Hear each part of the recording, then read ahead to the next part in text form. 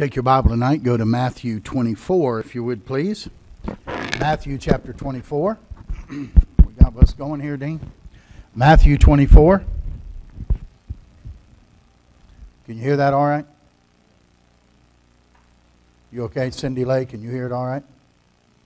She's not even looking at me, so she must not hear it. can you hear that, Cindy Lake? Now you can hear it? Okay, good. That's better. I'm starting to hear it more now, so uh, it has to be louder than the other voices in my head. We'll be all right. And uh, Matthew 24, and then put a finger, if you would, over in 1 Thessalonians 5. Matthew 24, and then 1 Thessalonians 5. Matthew 24, and if you look with me at verse number 42, the Bible says, Watch therefore, for you know not what hour your Lord doth come. But know this that if the goodman of the house had known in what watch the thief would come, he would have watched, and would not have suffered his house to be broken up. Therefore, be ye also ready, for in such an hour as ye think not, the Son of Man cometh. And then over in 1 Thessalonians 5, I want to remind you that 5, 1 Thessalonians 5 follows 1 Thessalonians 4. Boy, you learn the Bible when you come here, don't you? And uh, but we end chapter four with uh, with the coming of Christ. The Lord Himself will descend from heaven with a shout, with the voice of the archangel, with the trump of God, and the dead in Christ will rise first, and we which are alive and remain shall be caught up together with them in the clouds to meet the Lord in the air, and so shall we ever be with the Lord. Wherefore, comfort one another with these words. But of the times and the seasons, brethren Ye have no need that I write unto you. For yourselves know perfectly that the day of the Lord so cometh as a thief in the night. For when they shall say peace and safety, then sudden destruction cometh upon them, as travail upon a woman with child, and they shall not escape. But ye, brethren, are not in darkness, that that day should overtake you as a thief. Ye are all the children of light and the children of the day. We are not of the night, nor of darkness. Therefore, let us not sleep, as do others, but let us watch and be sober. For they that sleep, sleep in the night, and they that be drunken, are drunken in the night. But let us, who are of the day, be sober, putting on the breastplate of faith and love, and for a helmet the hope of salvation. For God hath not appointed us to wrath, but to obtain salvation by our Lord Jesus Christ, who died for us, that whether we wake or sleep, we should live together with him. Wherefore, comfort yourselves together and edify one another, even as also ye do. Now let's pray. Father, add your blessing to the scriptures here that we've read tonight. And Lord, I pray that we'll take seriously the admonition that, have been, that has been given to us that we would all be ready, that we would be prepared for the coming of our Lord.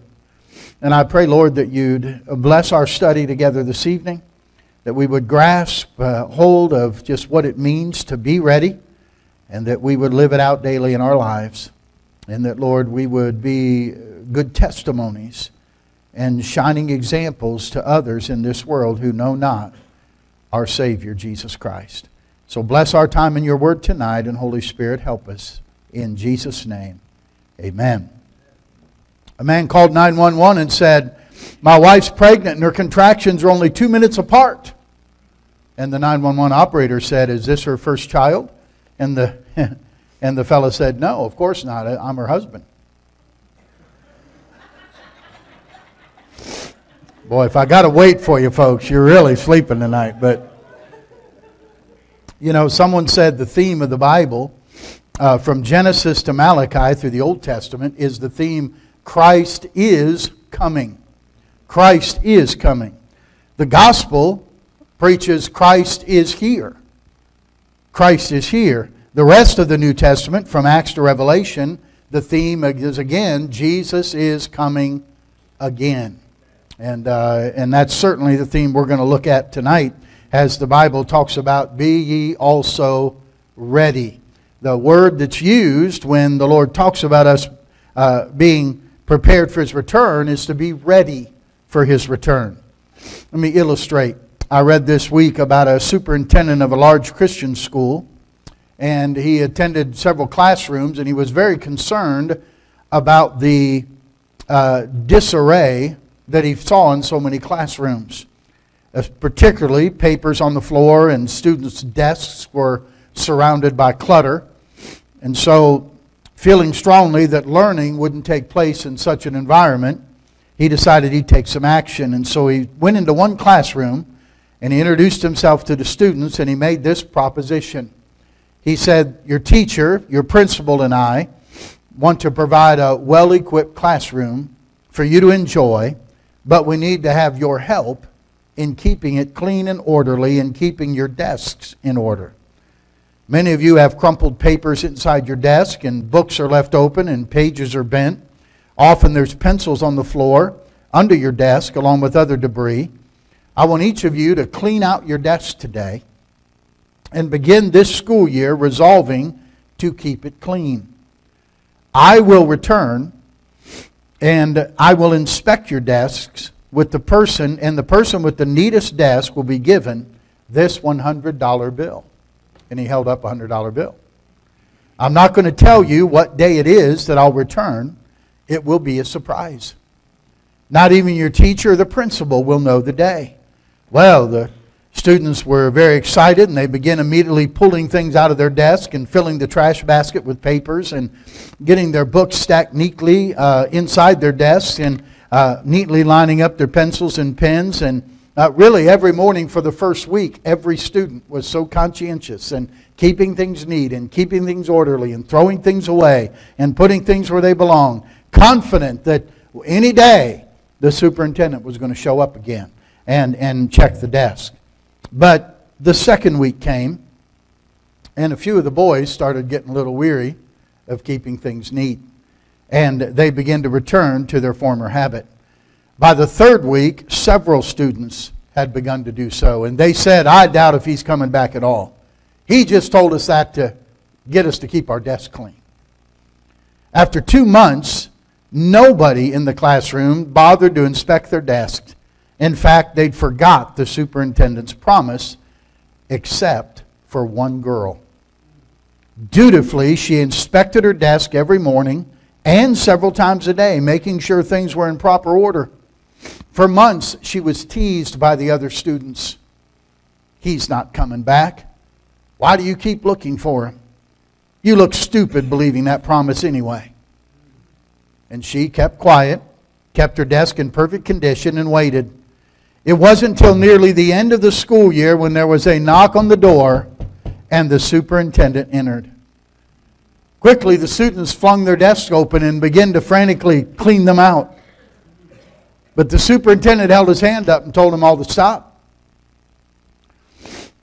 One after one, he went, he asked each student to stand beside their desk at attention while he inspected each desk.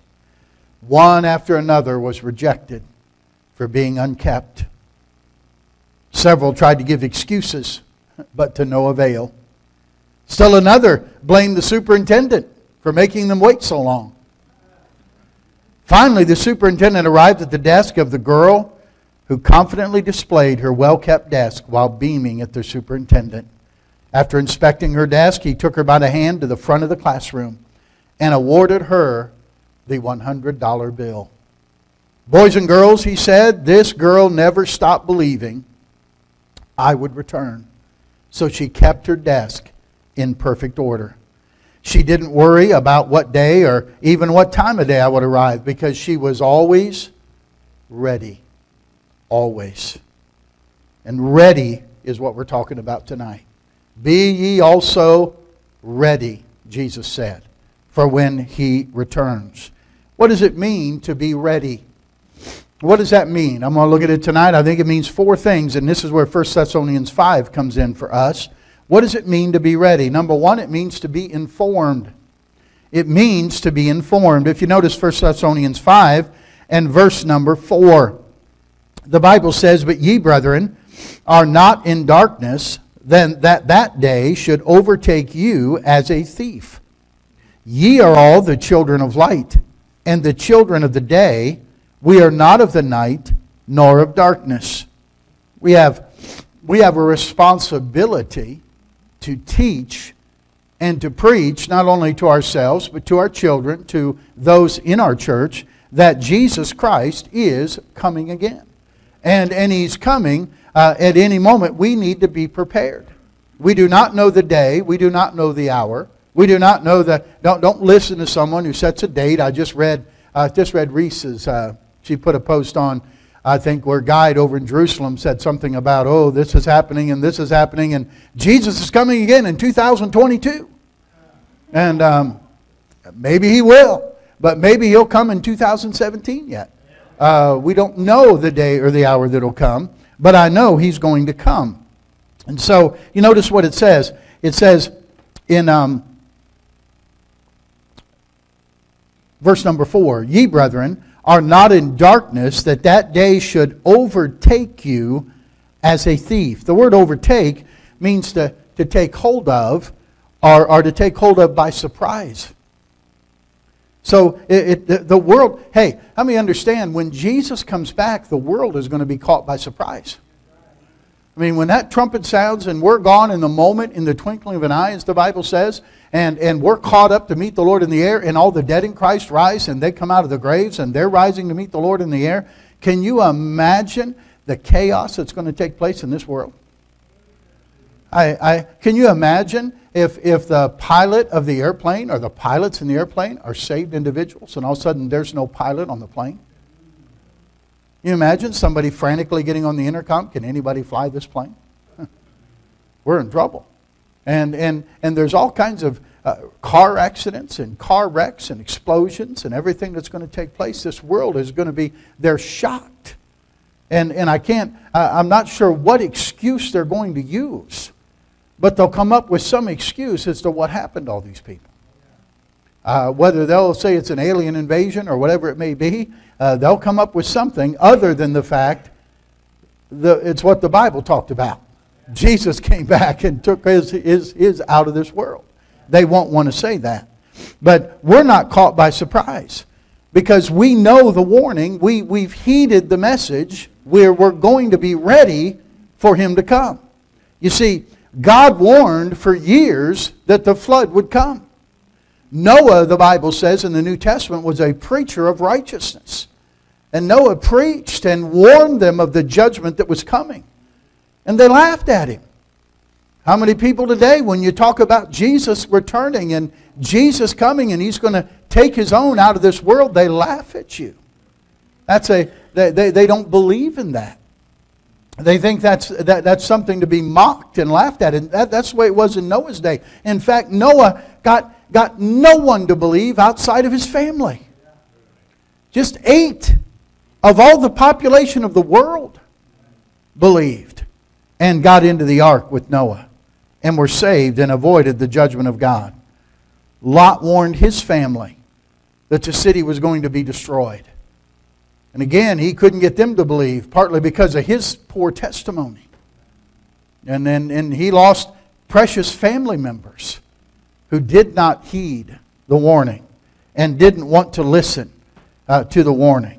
And so the Bible says here, if you notice in verse number 5, ye are the children of light, and the children of the day. We are not of the night nor of darkness. In, in the Bible, light always, always signifies spiritual direction. Darkness always signifies a lack of spiritual direction. We are in the light. When we walk in the light, we're walking with some spiritual direction. We know where we're going. You, you, you uh, trust in the Lord uh, with all thine heart. Lean not to own understanding. In all thy ways acknowledge him, and he shall what? He'll direct your path. He'll direct the way you're supposed to walk. It's not a mystery. It's not, and I'm not trying to figure out what we're supposed to do next. We have spiritual direction. But the lost have no spiritual direction. They have no idea what's going on. You know, that it's, it's as tragic as as the shooting was last Sunday, as tragic as the shooting was in Las Vegas uh, uh, back in the 1st of October, listen, I understand the, the depravity and the sinfulness of man. That's, it's, when God had man created in the beginning, in the flood era, remember, he said he saw that the imaginations of their heart was only evil continually. You have to understand the, the reason the world is so befuddled by this, and they're, they're still saying, why would a guy do this? Why would anybody do this? I tell you why. Because of the depravity of man. Man is wicked. They want to say man is basically good. And that's where the fallacy comes in. They're, they're, they're walking in darkness. They don't have any delight at all. The only way we know that the heart of man, listen, the heart is deceitful above all things and desperately wicked. Who can know it? That's the heart of man. That's why murders and, and, and, and all the sins that are listed, where does it come from? From the heart. It's the heart of man. We're born sinners. So, but how do we understand that? How do we have any direction on that? Because we walk in the light. Thy word is a lamp unto my feet and a light unto my path. And so the word of God has enlightened us on that matter. And we understand those things because we understand the Bible. Okay? So there's really two types of people when it comes to people who will see Christ. First of all, those who are, who are not looking for him those are the unbelievers, the, the people who are not Christians. They do not believe in Jesus Christ. And it'll be just like the days of Noah when no one else would believe him. No one else would believe it's going to rain. No one else would believe it's going to flood. No one else believed there was a God who was going to judge them for what they'd done. But I'm sure that there were a lot of folks, I, I just got to believe there were a lot of folks pounding on that ark when it started to rain. That's why I think the Bible said that they went into the ark, and you read about it in Genesis, it says God shut the door. Because I think if it had been up to Noah, Noah would have got soft hearted and probably opened it up and let some folks in. Because your heart would go out to folks screaming for their life. Because not only did the rain begin to come down from above, but the Bible says the fountains of the deep were opened up. And water began to come up out of the earth. And I think there was a great upheaval uh, in the earth at that time and folks were crying out for their life. But they were totally shocked by what was taking place. But I tell you what, it was too late. Too late. They couldn't do anything. And then, of course, the second group are those who are looking for him. And those are supposed to be the believers. We're supposed to be looking for him. We're supposed to be expecting his return, eagerly anticipating his return. And, and, and sadly, that's not always the case. Sometimes we, we talk good, but we don't live it that good. It's so easy to get caught up in everyday life. And, and, and if we're honest with ourselves, we can say, well, I think I went, I've gone quite a while without thinking and without expecting to see Jesus come. Get so caught up in everything else that, that, that takes place. I'm not really looking for him. You know, I think a few weeks ago when I was gone, look at Matthew 25. Would you turn over there with me? Matthew chapter 25. I believe you, we covered this in Sunday school. I think Brother Moreland did. Um, when Jesus gave the parable of the ten virgins in Matthew 25.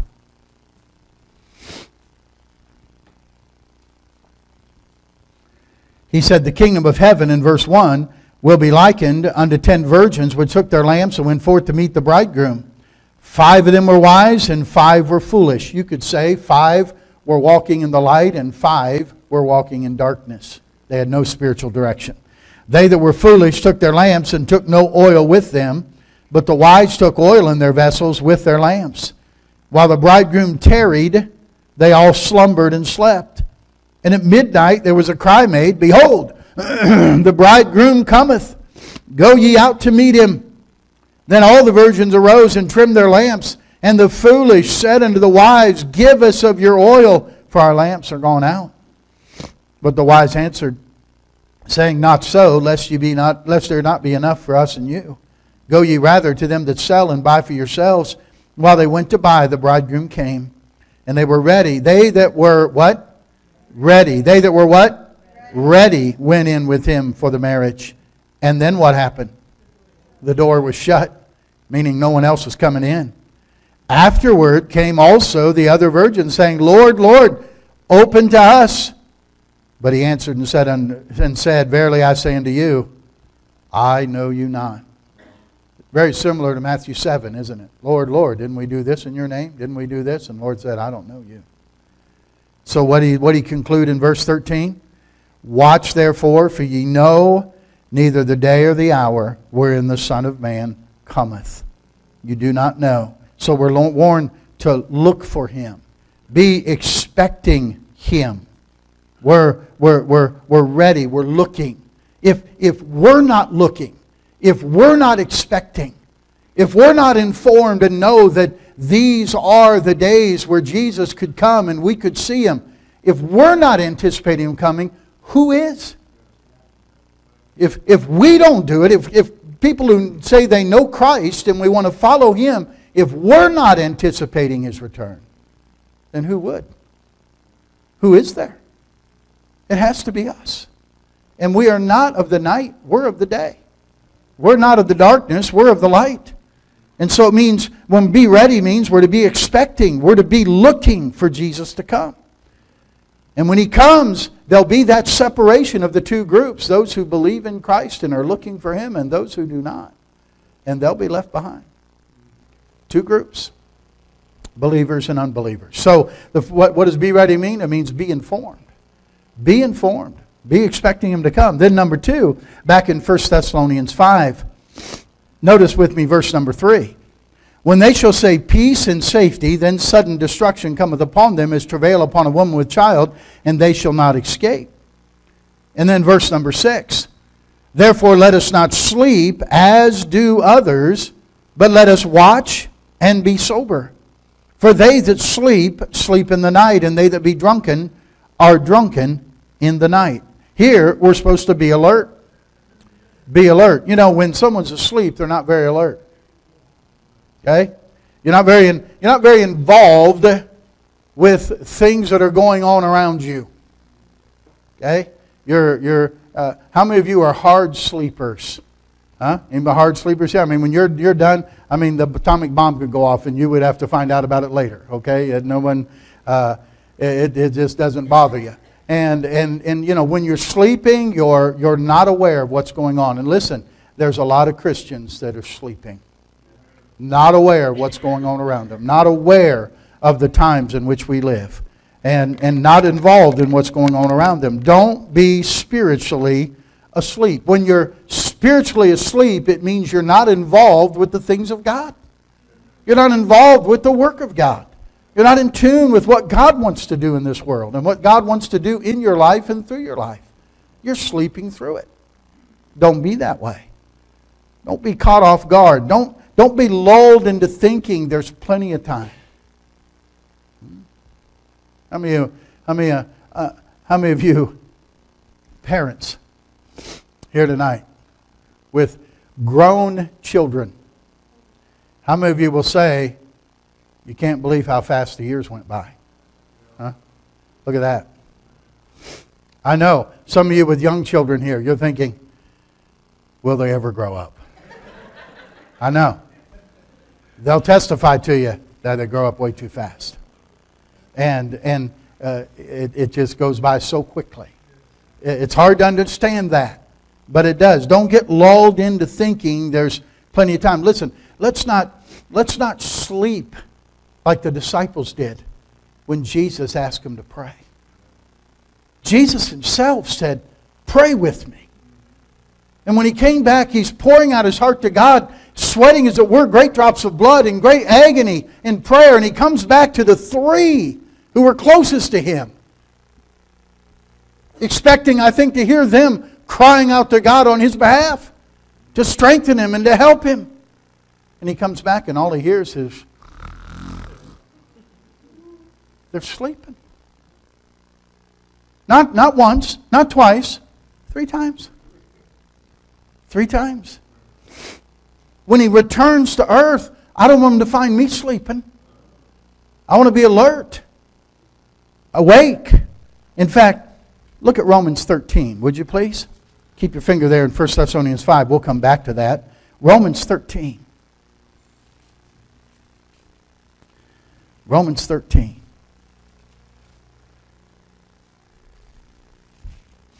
Notice verse 11.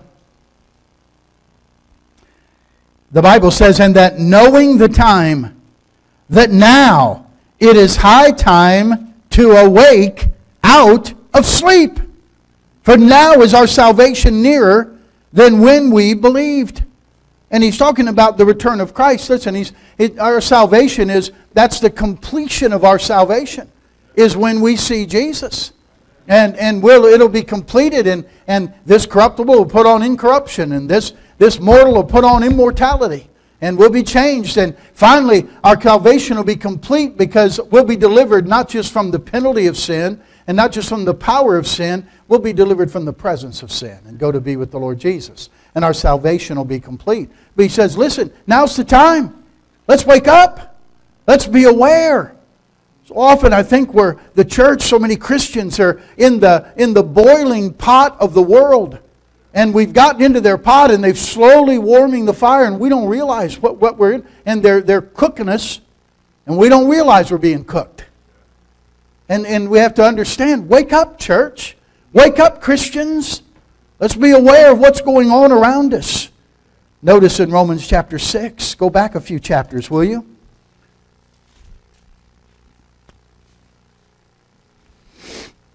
Notice in he talks about how Christ was raised from the dead and how he'll die no more because death will have no minion over him. And, and that he died once in verse 10. He died unto sin once, but in that he liveth, he liveth unto God. Likewise, reckon ye also yourselves to be dead indeed unto sin, but alive unto God through Jesus Christ our Lord. Wouldn't it be great if I could be dead to sin? How do you, how do you tempt a dead man? You know what the answer is? You can't. you can do anything you want to that guy. He's dead. He's not responding to anything. Wouldn't it be great if you were dead to sin that way? Nothing the devil throws at you, nothing the, the world comes at you, nothing appeals to you. I'm dead to sin. Oh, but I'm alive to God alive to the things of God. You've heard me talk about this before. Why is it we can sit in church sometimes and, and as much as we sometimes even want to be alive and awake, sometimes we sit there and yeah. And we're nodding off and we're, we're, we're, like not, not quite there and think, man, will we ever get done? But what is it about as soon as you say, Amen, all of a sudden, bing, Hey, let's go get something to eat. Let's go to Taco Bell. Let's do this. Let's do this. What's on TV? What's going on? And we go home and we stay up till 11 or 12 o'clock. You say, man, I was so tired in church. Why am I, why am I, sometimes it seems like I'm so sleepy or dead to the things of God and alive to the things of the world. I want it to be the other way around. See? And it should be the other way around. I want to be alert and alive to the things of God. And so reckon yourselves. See? Count yourselves. Ask God to help you to be dead indeed to sin, but alive unto God.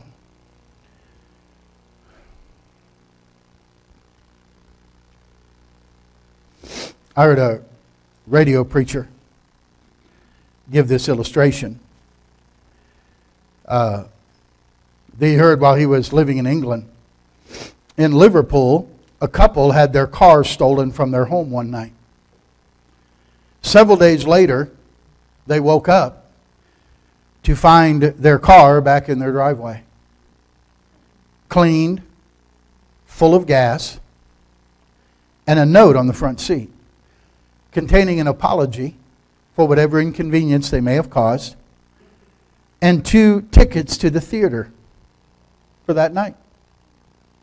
The couple was, needless to say, very impressed that somebody had a twinge of conscience, I guess, and decided to return their car and apologize and give them theater tickets. So, of course, they drove and went to the theater that night to find out when they came home from the theater, their house had been burglarized. True story. If the couple had just been a little bit suspicious, if they just would have been alert, to what might have been going on. They might have skipped the theater and waited for the intruder. But they had no idea. You know, that's what the scripture means when it says watch. Be on the lookout.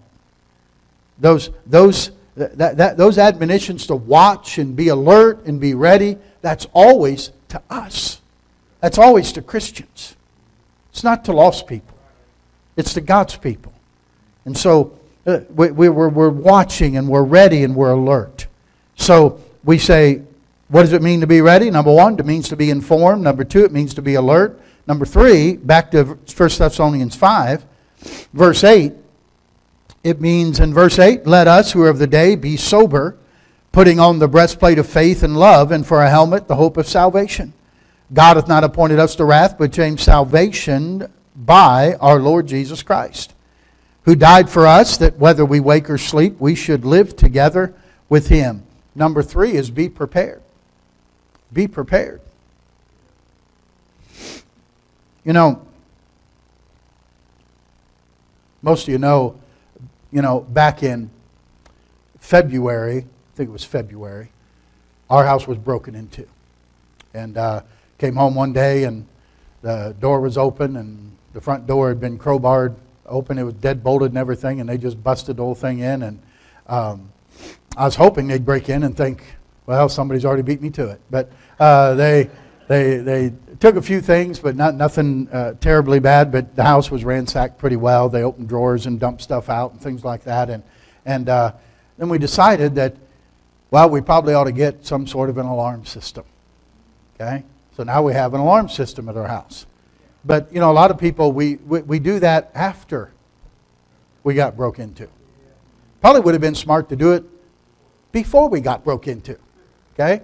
But a lot of people do that. After something happens, then we want to do something and, and, and try to uh, get something, uh, get an alarm or get, get different locks or something like that. But here, God is telling us be sober. It doesn't mean just not to be intoxicated, but it means to get serious about this. How serious are you about being ready for the Lord to come? Being ready and being watchful for the return of Jesus Christ? Are you prepared? And the way to get prepared, it's interesting, is he, he talks about the armor of God. To put on the armor.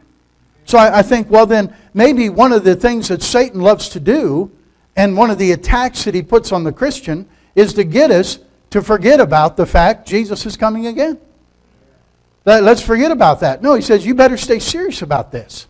Don't, don't get off track. Listen, when Jesus came the first time, there were, there, there were very few that believed that it was him. They weren't looking for him. They weren't expecting him. Oh, Anna in the temple was, and, and um, um, Simeon in the temple was. They're waiting for him. When the, when the announcement came, he made it to shepherds. Who else was going to believe him? He gave it to the shepherds. And so they weren't prepared. So he says, get the armor on, is what he's talking about. And he says, put on the breastplate of faith and love, and for a helmet, the hope of salvation. The breastplate, of course, protects the heart of the soldier. And so we understand our heart has to be protected. Guard the heart with all diligence, for out of it are the issues of life. You have to guard your heart. The heart has to continually be committed and focused on Jesus Christ. Set your affection, your heart, set your affection on things above, not on things on the earth. Okay? You have to love the Lord with all your heart. That's the breastplate. Then the hat, the, the helmet. The helmet, you know, it's interesting. The, the helmet or the, the, the headgear you wear is obviously it's for protection, but it's also for identification. You can tell a lot about a person by what they wear. If I, if I put a fireman's hat on here, you'd, you'd identify that guy's a fireman. Policeman's hat, that guy's a policeman. In baseball, you'd look at the hat. You can tell what team they play for because of the headgear they wear. And so the, the, the helmet of salvation is intended not only for our protection, but it's also our identification. It shows who we belong to. Your salvation ought to clearly show others who you belong to. Who do I identify with? The whole reason that, that you want to look like a Christian and act like Christian and walk like Christian is because I want people to, I want people to, if they find out I'm a Christian, I don't want them to be surprised. The reason I don't have blue hair and earrings and piercings all over my face, okay, is because I don't want people to think I'm on the wrong team. I'm on Jesus' team. And, and I tell folks when I go out and visit people or knock on their door, I don't want them to look out and think right away, well, that's a preacher. But I don't want to be surprised when they find out I am one. Okay? And uh, it's, it's, it's, what you ought to know that you're a Christian. Every one of us has had the experience, I think, of being out in public at a store or a mall or traveling, and you, you see someone, and if it's a young lady and they're dressed modestly and they have a nice skirt on and they, they look nice and their hair's fixed real nice, you begin to think right away, I wonder if they are a Christian. We were traveling out to Illinois one of those times when we stopped at a rest area in Indiana. Remember? And we just stopped to have lunch there. And uh, we got the picnic table, and Kathy unpacked the lunch, and we had uh, Drew. Do we have Drew with us? And uh, we were traveling, and so uh, we started to have lunch, and two girls stopped, and they came over to the picnic table, and both of them had uh, jean skirts on that were long length and, and nice outfits on, and they sat down, and we noticed when they sat down to eat, you know what they did? We saw them pray. So right away we think, they're probably Christians. See? They're probably Christians. Identification identification. And they were. They were with the Independent Baptist uh, for Asians out of Marietta, Ohio, that Brother Jess Cooley is with, and uh, those others we support. So uh, we got a chance to talk to them. So it's our identification who you identify with. And so be prepared. Be prepared. Put on the armor of God. Put on the breastplate. Put on the helmet of salvation. Hey, let it be known whose team you're on. Let it be known whose side you're on and be prepared. Have the have the, the, the, armor of God on and fight against the wiles of Satan. So be informed, be alert, be prepared, and then lastly, number four, verse eleven. Wherefore comfort one another, or comfort yourselves together, and edify one another, even as also ye do. Remember at the end of chapter 4 when he talked about the Lord coming back and the dead in Christ rising first, and we which alive remain, we called it to meet the Lord in the air. Verse 18, Wherefore comfort one another with these words. And so, be a comfort. It did not say, be comfortable. Okay? It said, be a comfort. be an encouragement, if you will. The best way you can encourage somebody is to remind them of the fact we have a blessed hope to look forward to. Hey, Jesus is coming again. Jesus is returning for you and me. That is the blessed hope of the believer. And again, in the Bible, hope is not across your fingers, carry a four leaf clover in my pocket, and, and kiss a horseshoe. You know, it's not, it's not I hope, I hope, I wish, I wish. It is a certainty. It is an absolute certainty. That's what hope is as it's used in the Bible. And we have that blessed hope in Jesus Christ. That's why we encourage each other with those words and we, we comfort one another with those words. Turn, if you will, to the book of Hebrews chapter 10.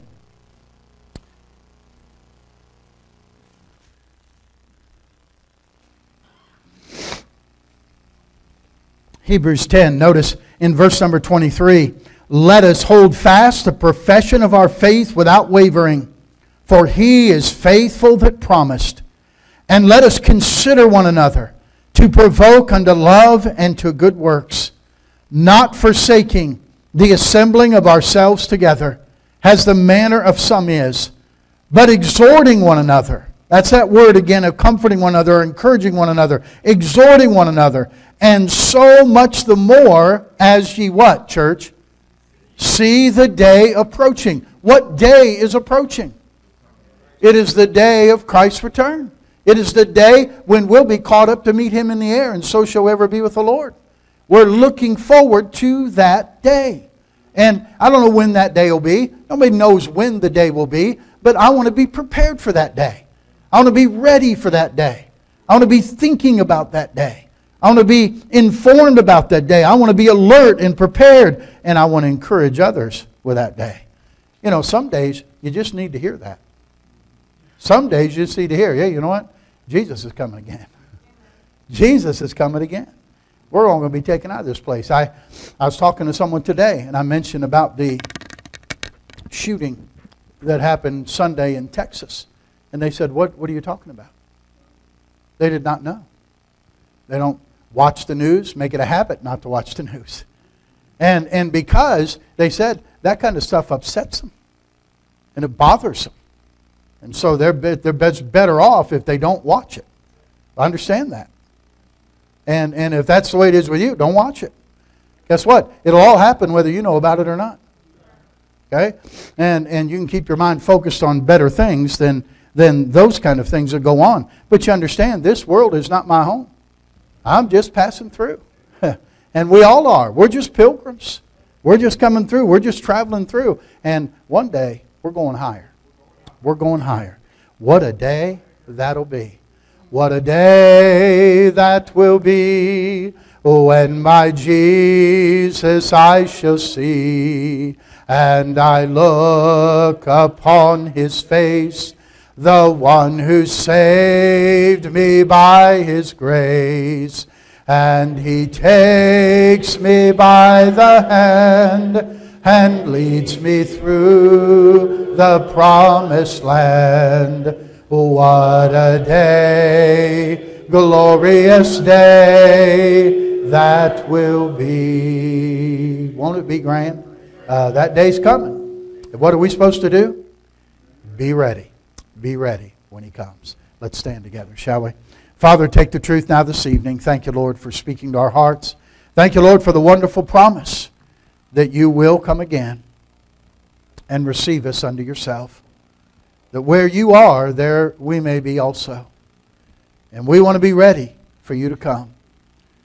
Lord, I pray that each of us would live our lives each and every day with the understanding maybe today our Lord will come for us. Lord, we'll be faithful, we'll be true, we'll keep our affection set on things above and not on things on the earth. We love you. We thank you for your wonderful promise. Help us to be a comfort and an encouragement to one another with these words. And help us to be ready.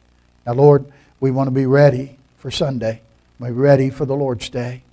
We're praying that you'll bless the labor that goes into the flyers going out, the food that's being prepared, the things that are all, all the setup and the work that's being done to receive people here. I pray, Lord, that you'll help the house to be filled. Many, many guests coming, that they'll sense the Spirit of God in this place, the love of Jesus Christ, and they'll be drawn to the Savior on Sunday. Pray for many souls to be saved and for lives to be touched for your honor and glory. Dismiss us now with your care, Lord, and help us to be busy about your business in these days ahead. In Jesus' name we ask it. Amen. Amen. The windows of heaven are open. and blessings are falling tonight. Where are these, Bob? Brother Taylor in the back has these little piece of paper. These are the eight mighty men of valor that are studying for translation work at the Worldview Institute in India that Brother Overton had asked we pray for. Why don't we pray for these men, all right?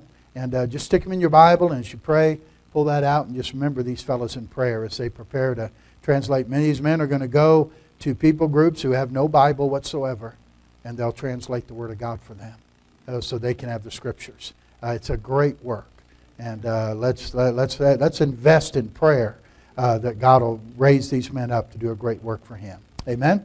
All right, windows of heaven are open. The blessings are falling tonight. Here we go. The windows of heaven are open. The blessings are falling tonight. There's joy, joy, joy in my heart since Jesus made everything right. I gave him my old tattered garment. He gave me a robe of pure white. I'm feasting on manna from heaven. And that's why I'm happy. That's why you're happy. That's why we're happy tonight. God bless you. You're dismissed. Choir, come right on up. Don't forget your turkeys still on? You cut me off. Don't forget your turkeys in the fellowship hall. Thank you.